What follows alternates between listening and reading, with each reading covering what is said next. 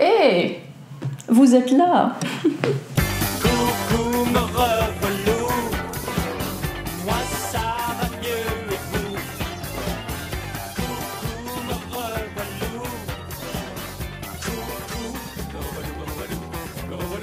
Bonus de 10 points si vous savez qui chante cette chanson. Voilà, mettez-le moi en commentaire. Et bonjour mes petites biches, mon dieu, ça fait tellement longtemps que j'ai filmé, je ne sais pas si je sais encore comment faire. Euh, je pense que la dernière vidéo que j'ai filmée, ça devait être ma coupe de cheveux maison, que j'ai filmée début août. Oh là là. Parce que la dernière vidéo que je vous ai mise, euh, je l'avais pré-filmée avant de partir en Californie. Donc autant vous dire que ça fait très longtemps que j'ai filmé, c'est la première fois que je reste aussi longtemps sans filmer, sans poster de vidéo. Pas de vidéo, ou à part une, je pense, ou deux, sur le mois d'août, au tout début, et pas de vidéo du tout en septembre. Sauf que demain on est le 30. Donc ça compte encore. Comme l'indique la chanson, Coucou me revoilou. Je pense que je vais tout doucement recommencer à faire des vidéos. Je vais certainement me tenir à une vidéo par semaine pour le moment. Depuis le début, en fait, mon but c'est de produire le plus de vidéos possible, dans le sens euh, d'avoir un rythme constant, de, de faire deux voire trois vidéos par semaine, ça a toujours été mon but, mais euh, force est de constater que pour le moment ce n'est absolument pas possible. Alors, petite explication où été, pourquoi, comment, euh, qu'est-ce que t'as fichu Momo, euh, mais t'es pas là, mais t'es où Honnêtement, je me suis demandé ce que j'allais vous dire dans cette vidéo parce que je vous ai posté quelques stories sur Instagram par-ci par-là en vous disant que euh, voilà, c'était pas trop ça pour le moment au niveau YouTube et réseaux sociaux parce que franchement au niveau vie personnelle tout va très bien, ne vous inquiétez pas. Je suis vraiment très très heureuse dans ma vie pour le moment et très épanouie, mais euh, je ne sais pas, je me suis levée un matin et je ne pensais pas que ça allait m'arriver un jour et je me suis dit j'ai plus envie. Enfin plutôt j'ai l'impression d'avoir perdu ce feu intérieur, cette motivation qui euh, me donnait l'énergie et l'envie de faire des vidéos très régulièrement, voilà, tous les dimanches, tous les jeudis. Ah, j'ai même oublié mes jours de publication. Dimanche et mercredi? Je sais plus. Soit. Qui, voilà, cette énergie qui me disait, vas-y, tu filmes, tu montes, parce que c'est ça aussi en fait, peut-être. Peut-être que tout le monde ne s'en rend pas compte, mais pour faire des vidéos sur YouTube, et ça fait déjà depuis 2013 que j'en fais, bah, il faut trouver une idée, trouver de quoi on va parler. euh, Est-ce que c'est un sujet simple, comme je sais pas moi, un haul, ou est-ce que c'est un sujet qui demande euh, un peu plus de réflexion Les vidéos que j'ai vraiment envie de faire sur le féminisme, sur la pilule et tout le tralala. Euh, faut filmer, donc ça veut dire qu'il faut avoir le temps, il faut se poser, il faut tout installer, parce que là j'ai trépied, appareil, micro, ordinateur, les lumières allumées. Alors je sais, bien évidemment, il y a des gens, ils allument ça dans un coin leur salon et c'est bon comme ça. Mais c'est vrai que j'aime bien aussi quand les images sont jolies, quand le son est bon, j'ai récupéré un micro, donc voilà, ça fait plaisir. Euh, donc il faut filmer. Ensuite, il faut monter la vidéo, faire la miniature, faire la barre d'infos. Et puis ensuite, il y a tout l'après, il y a la meilleure partie, j'ai envie de dire, l'interaction avec vous. Mais c'est vrai que ces derniers temps, je pense que j'ai été un peu absorbée par le boulot. Faut dire que je travaille plus qu'avant, je, fais plus d'heures qu'avant, ce qui est très très bien. Je- J'aime vraiment mon boulot, mais en fait, euh, pour ceux et celles qui ne le savent peut-être pas, je travaille avec une blogueuse et en fait, mon boulot, c'est à peu près ce que je fais aussi dans le perso. C'est-à-dire que je monte des vidéos, je gère les réseaux sociaux, je gère tout ce qui est email, et voilà, quand on passe déjà ses journées sur l'ordinateur, ceux qui ont un travail euh, sur ordi comprendront certainement, quand on passe déjà toute sa journée sur un écran, et je dis ordinateur, mais c'est aussi téléphone, parce que moi je jongle carrément entre ordinateur, euh, tablette, téléphone, tout le temps, et qu'on rentre à la maison le soir et qu'on se dit, il faut filmer, ça va pas. Quand le week-end, on se dit, ah là là, il faut que je me trouve deux heures pour filmer, puis ensuite il faut faire le montage et tout. Bon, à partir du moment où ça devient une corvée, je pense que vous serez tous d'accord pour dire que faut pas se forcer. Et je sais bien que vous allez me dire ça, je sais bien que personne, je pense, ne m'en veut de vous avoir abandonné pendant quelques semaines. Euh, J'ai d'ailleurs reçu de très gentils messages sur YouTube et sur Instagram me demandant si tout allait bien. Tout va bien. mais euh, mais c'est vrai que à partir du moment où je me suis levée un matin et je me suis dit il n'y a, plus, il manque quelque chose, ben j'ai pas voulu me forcer en fait parce que sinon je, je pense que ça allait se ressentir et j'avais pas envie, j'avais pas envie de faire la gueule à la vidéo non plus. hein. C'est pas la Momo que vous connaissez. Donc euh, voilà, faut dire que j'ai été aussi extrêmement fatiguée ce mois de septembre. La fin de l'été a été un petit peu euh, difficile pour moi. Maintenant, Je suis de retour, j'espère, pour vous jouer un mauvais tour. Je, voilà, comme je l'ai dit, ça va certainement être une vidéo par semaine pour le moment. Malheureusement, il n'y aura pas de YouTuber cette année. Pourtant, vous avez été quelques-uns à me le demander et j'avais une, j'ai une liste comme ça de vidéos parce que c'est ça le truc, c'est que les idées ne me manquent pas. J'ai continué à noter toutes mes idées vidéo, mais j'avais pas la foi quoi. Donc euh, oui, j'ai bien une vingtaine de vidéos euh, qui sont là et qui sont sur ma liste, mais je, ne me sentais pas capable de vous préparer 31 vidéos et à un moment donné, et encore une fois, je sais que vous allez comprendre tout à fait, euh, j'allais pas me, me ruiner la santé ou je sais pas moi, empiéter sur des heures de sommeil pour produire, produire, produire. Voilà, ça c'est la première chose. Ensuite, j'avais envie d'aborder un sujet qui dérive peut-être de ça. C'est euh, la perfection sur les réseaux sociaux, la pression aussi qu'on subit en tant que, follower peut-être, mais aussi en tant que blogueur. Mon dieu, j'allais dire influenceur.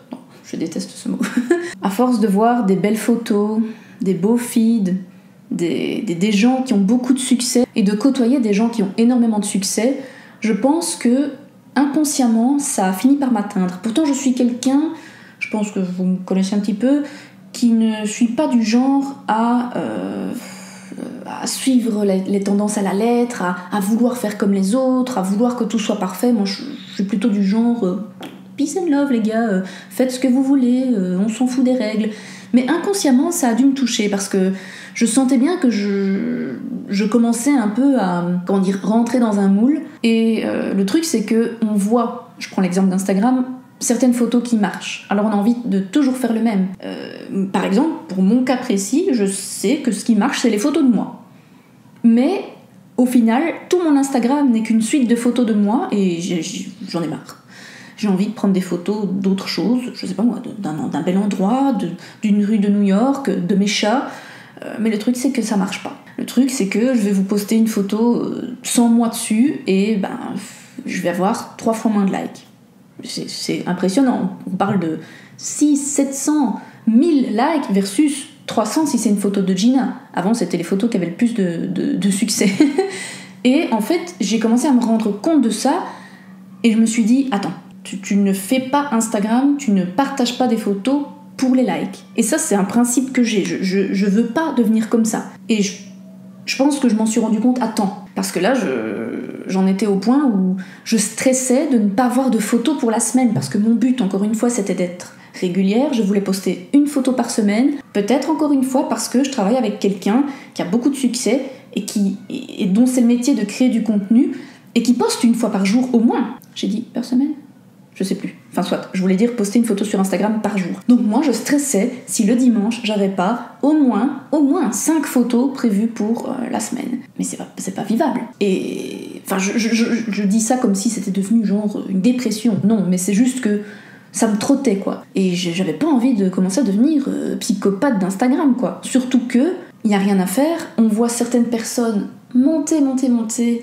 dans les abonnés, avoir un succès fou, et on se dit pourquoi eux et pourquoi pas moi Enfin, moi, c'est vraiment une question que je me suis posée beaucoup de fois depuis 2013. J'ai une bande de copines blogueuses, euh, je, les vois avoir euh, des- partenariats, avoir des collaborations, évoluer, grandir, avoir voilà, une belle communauté. Et moi, j'ai une merveilleuse communauté, mais c'est juste que je transitionne un petit peu. J'ai très peu de partenariats. Très, très, très peu. Euh, oui, je suis contactée par des sites chinois à peu près tous les jours, mais franchement, j'ai fait Zafoul je pense que c'est terminé parce que je j'ai pas eu une mauvaise expérience avec eux mais je, je suis pas trop à l'aise en fait avec le fait de, de promouvoir comme ça tout le temps des, des sites chinois. Choix personnel vous faites bien ce que vous voulez encore une fois. Mais, mais voilà j'aimerais autant avoir des, des partenariats avec des marques euh, qui me, qui me bottent vraiment. Des marques euh, dont j'aime les valeurs dont j'aime l'éthique.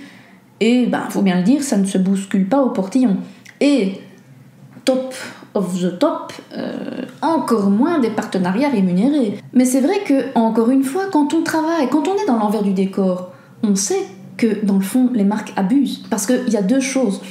On va rentrer dans les termes techniques. Il y a le gifting, c'est-à-dire les marques qui vous envoient un produit, qui vous envoient leur nouvelle collection de make-up, qui vous envoient... Vous savez bien, hein, les marques qui envoient toutes les teintes de fond de teint aux blogueuses. Alors que, honnêtement, il y en a une, voire deux, qui leur vont tout à fait logique, on n'a qu'un seul visage. Ça, c'est du gifting, c'est-à-dire que la marque, voilà, on est sur une liste de je sais plus, press relation, PR, et euh, on reçoit des cadeaux. Perso, moi, ça ne m'est jamais arrivé. Jamais, jamais, jamais. Que je sois en Belgique, que je sois ici, bon, ici c'est un petit peu plus difficile parce que je suis francophone à New York, je n'ai jamais été sur une liste PR. Euh, J'ai même posé la question à certaines personnes dans des agences, je ne sais pas, je ne sais pas quel est mon problème. Ça fait un peu genre la meuf en, colère, mais c'est juste que je me pose la question pourquoi certaines de mes copines qui ont commencé en même temps que moi ont été sur toutes les listes d'agences et jamais moi? J'en ai même parlé avec plusieurs d'entre elles, on se demandait ce qui se passait, je Momo le vilain petit canard. Mais c'est pas grave, c'est pas enfin vous- encore une fois, vous me connaissez, je suis pas du genre à grappiller, à vouloir gratter les marques, mais ça c'est du gifting. Ça veut dire qu'on reçoit un produit, on en parle si on veut, c'est-à-dire qu'il n'y a pas de contrat. En général, la, bienséance veut que la blogueuse va montrer le produit sur ses réseaux sociaux, va en parler, va peut-être en faire un article ou une vidéo, mais plus on a d'abonnés, plus c'est rare. En général, on fait une story. Et puis ensuite, deuxième option, c'est les partenariats, c'est le sponsorship. Alors, dit le sponsorship, les sponsors, les, partenariats sponsorisés. Il y a partenariats non rémunérés et partenariats rémunérés. Mais on va dire que, en règle générale, là où il devrait y avoir partenariat, il devrait y avoir rémunération. Parce que, en gros, ben, c'est du travail. Ça, c'est ma copine Patricia qui le dit toujours. Et Patricia est une américaine qui vit en France et qui est un peu euh, une des seules, je trouve, à oser dire ça. Tout travail mérite salaire. Et c'est pas parce qu'on est blogueuse qu'on euh, se touche la nouille toute la journée. Et ça veut dire que si on reçoit un produit qui, honnêtement, coûte 3 balles 50 à la marque, vu tout ce qu'elles envoient au monde entier, et qu'on doit faire un article ou une vidéo dédiée, ou même mentionner, voilà, ça, dépend des différentes catégories de partenariat, normalement, il devrait être normal d'avoir une rémunération. Voilà, ça c'est la théorie. Et puis ensuite, quand on est une petite blogueuse, comme moi, eh bien on nourrit à la figure. on nous dit on n'a pas de budget, alors que pour une blogueuse qui a quelques milliers d'abonnés en plus, je parle même pas de 1 million ou 100 000 ou 200 000 hein, versus 5 000 sur Insta. C'est genre 5 000, 20 000, ce qui est énorme, mais c'est pas non plus euh, des centaines de milliers de différences. La blogueuse à 20 000 a une rémunération, mais à moi, on va me dire Ah, on n'a pas de budget. Cette vidéo n'a pas vraiment de d'ordre logique ni de sens, hein, mais je, raconte tout ce que j'ai sur la, la patate là parce que en fait c'est chiant. Depuis toujours mon rêve ça a été de, de vivre de ça en fait, de peut-être un jour euh, le rêve fou qui se réaliserait, peut-être un jour vivre de euh, Harmonie Lu. De, de ma chaîne, de mes réseaux sociaux. Et en travaillant dans le monde du blog, cette envie, elle s'est à la fois renforcée parce qu'on se dit waouh, c'est quand même super comme métier, et en même temps un peu euh, casser la figure. Parce que, évidemment, je vois l'envers du décor. On voit que ça fait longtemps que j'avais filmé parce que là, j'ai eu carte pleine et euh, batterie qui lâche. Donc, c'est la totale. Et aussi, j'ai fait tomber mon micro. Soit, je ne sais plus où j'en étais du coup, mais j'avais envie de vous, vous raconter tout ça parce que toutes ces petites choses, en fait, et. Et ouais, l'envers du décor, je pense, de la blogo, ça fatigue un peu. C'est certainement aussi l'intensité de mon boulot pour le moment. Rien de grave, encore une fois. J'aime beaucoup ce que je fais, mais j'avais pas envie. J'avais pas envie d'allumer ma caméra quand je rentrais le soir à la maison. Et je pense que j'ai bien fait de ne pas me forcer. Alors maintenant, pour terminer avec mon laïus sur les partenariats, là là là, j'ai l'impression d'avoir fait un manifeste là. Pas content, pas content. Non, c'est pas vrai, je suis très contente. Je suis très contente de la communauté que j'ai. J'ai vraiment de la chance en fait d'avoir des gens très gentils qui me suivent, même si je vous avoue que euh, là, pendant le mois d'août-septembre, il y a quelques trolls qui sont passés par là, bizarrement. Et du coup, euh, avait certains commentaires. En fait, le problème. Ouais, j'ai encore trouvé un autre truc à dire. Le problème, c'est que on peut jamais plaire à tout le monde. Ça, ça c'est encore une fois un principe que je connais et que je, je, je saupoudre comme ça sur la vie des gens. Faut pas essayer de plaire à tout le monde, en fait. Faut même pas essayer de plaire aux gens tout court. Faut être soi. Faut, faut faire ce dont on a envie. Faut parler de ce dont on a envie sur sa chaîne. Si ça plaît, c'est bien. Si ça plaît pas, c'est pas grave. Mais c'est vrai que quand on fait des trucs qu'on pense être sympas, par exemple, répondre à des questions sur notre vie à New York, et qu'il y a des gens un peu embêtants, pour rester poli, qui viennent dire Ah oui, mais vous polluez, ah oui, mais votre mode de vie, ah oui, mais. On va faire des produits terminés. J'ai vu ça sur la chaîne d'une copine. Que de produits, oh, que de plastique. On se coupe les cheveux toute seule. Tu fais ça n'importe comment. Tes cheveux sont cramés, tes cheveux sont horribles. Sérieusement, mes cheveux ont l'air cramés. Et même s'ils l'étaient, foutez-moi la paix. Foutez la paix aux gens. En fait, c'est ça aussi, je pense, c'est qu'il y a un moment donné, se prendre des commentaires comme ça à peu près tous les jours, euh, sous couvert d'anonymat et surtout sous le couvert de oui, mais no offense, hein, je dis ça pour ton bien, mais euh, tu devrais pas mettre ça, tu devrais pas t'habiller comme ça vu ta, morphologie. Celle-là, c'est pas moi qui l'ai eu, mais je l'ai lu. Un commentaire chez euh, Friendly Beauty qui dit euh, J'aime pas du tout comment tu parles, tu fais des manières, on dirait Colline. Mais les gars, Colline Non, mais je, vous dis, c'est parce que je, lis ces commentaires-là et ça me, ça me reste en tête. Colline qui est enceinte, qui, l'annonce à 6 mois de grossesse, donc la meuf, euh, elle a pris son temps. Oh mon dieu, j'espère que tu ne vas pas faire de vidéo de grossesse parce que moi je n'ai pas d'enfant et ça ne m'intéresse pas du tout. Mais si ça t'intéresse pas, tu ne regardes pas. On est d'accord. si t'as pas envie d'entendre parler d'enfants, tu skippes la vidéo euh, All bébé ou euh, Room Tour, Baby Room Tour. Mais encore, c'est pas le genre de Colline, mais elle fait ce qu'elle veut, cette fille. Si ça ne te plaît pas, il y a la petite croix, hein.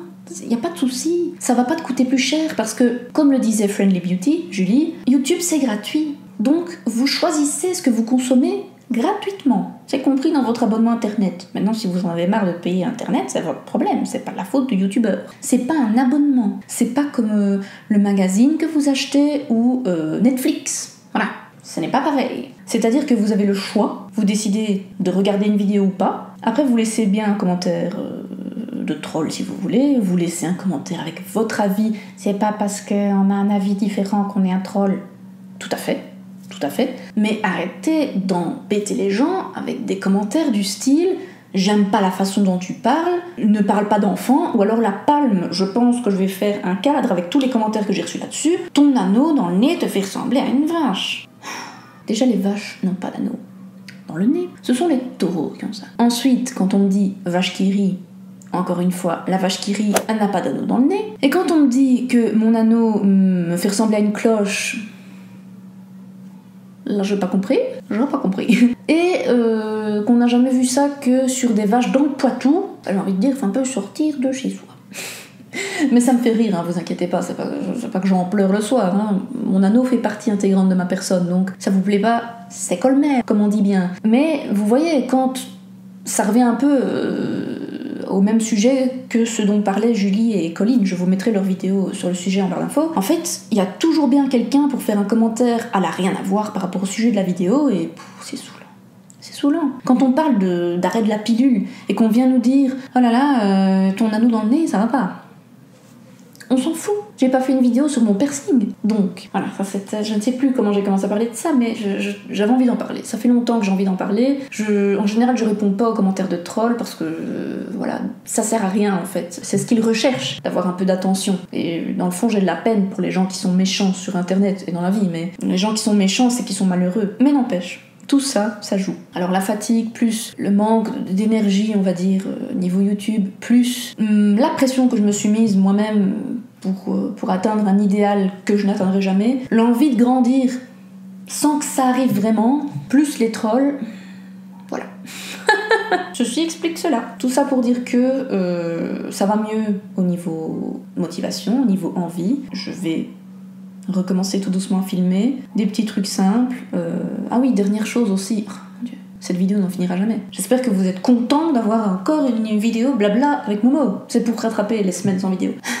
Je, ne sais pas comment euh, définir ma chaîne en fait. Je pense pas qu'il y ait besoin d'une définition dans le plus profond de moi-même, mais pour que ça marche, les gens ont besoin de cadre. Les gens ont besoin de savoir, euh, ah cette chaîne elle va parler de ça ou ça. Et le problème c'est que j'ai toujours parlé de 36 trucs. Euh, j'ai commencé comme blogueuse beauté, mais bah, voilà, vous me connaissez, j'aime bien me maquiller, mais je suis pas une experte. Avec tous les make-up artistes qu'on a maintenant sur YouTube, personnellement, c'est très très personnel, mais je trouve ça ridicule, moi, de faire des tutos make-up parce que je mets trop fois rien sur ma tronche, donc même moi, ça m'intéresse pas de filmer une vidéo make-up. Vous parlez de nouveautés ou de trucs que j'aime bien, oui, dans des vidéos euh, favoris et découvertes. Ça, y en aura bientôt, je pense. Mais en fait, j'ai plus envie d'être cata- cataloguée youtubeuse beauté. Et je pense aussi que c'est pour ça, j'en parlais un peu plus tôt, que j'ai jamais été contactée par beaucoup de marques. Parce que je fais pas vraiment de revues de produits, parce que je. Je fais pas de maquillage sur mon blog ou sur ma chaîne, donc du coup les, marques ne doivent pas voir un grand intérêt dans ma chaîne. Et c'est normal. Donc euh, voilà, lifestyle, oui, lifestyle, c'est le grand sujet qui englobe un peu tout. Mais je pense que c'est ça, en fait, ma chaîne. C'est- la vie, quoi. C'est la vie de Momo, avec Momo. On papote, quoi. Mais c'est vrai que ça, c'est un truc qui, qui doit un petit peu moins attirer les foules. Mais c'est pas grave. c'est pas grave parce que franchement, je, je suis bien avec vous, mes petites biches. Mais voilà. Hum, Tout ça pour dire que j'en ai marre de j'en ai marre de cette étiquette beauté que je me suis collée dès le début. Et d'un côté, j'arrêterai certainement pas de vous présenter des petits trucs à droite à gauche, mais j'ai plus envie que ce soit le focus. Enfin, il y a quelqu'un très très gentil, une personne euh, très adorable sur Instagram qui a partagé mon compte il y a pas longtemps en disant d'habitude je ne m'intéresse pas du tout à la beauté, mais j'aime bien Harmonie. Et je me suis dit mais ça fait longtemps quand même que j'ai plus fait de make-up ou ouais beauté ça peut être très général je sais mais je sais pas, je sais pas. Est-ce que vous considérez les cheveux comme partie beauté, par exemple? Moi, j'ai toujours séparé ça, cheveux, beauté. Mais c'est peut-être juste moi. J'ai plus le souffle tellement j'ai parlé. Voilà, c'était tout ce que j'avais à dire, je pense. Au pire, je referai une autre vidéo pour continuer. Mais en tout cas, n'hésitez pas à rebondir sur tout ce que j'ai, tout ce que j'ai dit, hein, les partenariats, la motivation, constance des vidéos. Vraiment, ça m'intéresse de savoir, euh, vous, ce que vous en pensez, que- qu'est-ce que vous préférez. Je me suis déjà aussi souvent posé la question, encore un truc à rajouter. Est-ce que vous trouvez que euh, c'est mieux? Com- comment vous, vous trouvez que c'est le mieux de gagner sa vie en tant que blogueuse? C'est pas pour moi, hein, c'est juste une question que je me pose. En ouvrant un. Comment ça s'appelle? Un Tipeee ou un Patreon Je sais pas si ça existe en France, Patreon. Ou bien alors en ayant des partenariats rémunérés. Parce que j'ai l'impression que les deux sont mal vus en fait, mais peut-être pas pour les mêmes raisons. J'ai l'impression que le Tipeee, ça fait genre euh, la grosse feignasse qui dit donnez-moi vos sous. Et j'ai l'impression que les partenariats rémunérés, tout de suite, ça enlève l'honnêteté dans la tête des gens. hein. Donc, je ne sais pas en fait. Je, je me pose la question, je me dis, mais dans le fond, si, si ni l'un ni l'autre ne convient aux gens, qu'est-ce qu'il faut? Qu'est-ce qu'il faut faire? Est-ce qu'un blogueur ne peut pas gagner sa vie? C'est vraiment une question que je me suis posée il y a pas longtemps. Je me suis dit, mais qu'est-ce qui est le mieux en fait? Par exemple, si moi, je, dis que c'est pas pour moi, mais si moi ça, devait m'arriver, est-ce que vous préféreriez que je fasse de temps en temps des partenariats rémunérés, tout en sachant que je garderai mon intégrité, mais je serais payée pour vous parler d'un produit, d'un concept, j'en sais rien. Ou est-ce que vous préféreriez que euh, j'ouvre un Tipeee un machin comme ça, un machin où vous pouvez donner de l'argent, et que vous-même, spontanément, vous pouvez vous dire Ah bah tiens, je vais donner 5 dollars, 5 euros à Harmonie. Je, me pose vraiment la question. Personnellement, je- quand, je, suis euh, follower, je suis très contente quand la personne a un partenariat. On voit directement quand c'est du chiquet ou pas. Et bah, les, les Patreon, pa- Patreon et, Tipeee, ben, c'est bien. Personnellement, je n'y ai jamais contribué, mais je trouve ça bien si, ça marche. Donc, euh, je sais pas. J'attends votre avis. Je sais que vos commentaires sont toujours très bien, euh, très très constructifs et, très intéressants. Donc, euh, j'ai très très hâte de lire tout ça. Je suis du retour. Voilà. Comment je faisais encore ma, fin de vidéo? J'espère que vous avez aimé cette vidéo, mes petites biches. Si c'est le cas, n'hésitez pas à vous abonner à ma chaîne. J'ai aussi une chaîne en anglais. Je ne mets rien dessus, mais vous pouvez quand même checker ma chaîne en anglais. Il y a quelques vidéos dessus. Et vous pouvez aussi regarder une autre vidéo en attendant la prochaine, qui ne sera pas dans deux mois. Espérons. Gros bisous, mes petites biches. À bientôt.